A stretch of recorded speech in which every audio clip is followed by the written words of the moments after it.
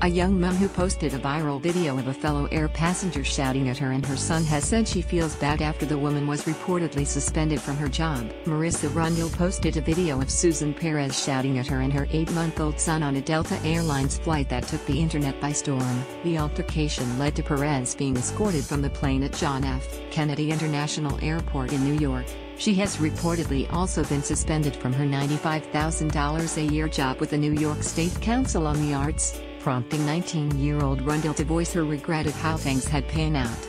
I kind of feel bad for this lady, she told Incorporated I don't know her story, she doesn't know mine, it might have been a misunderstanding.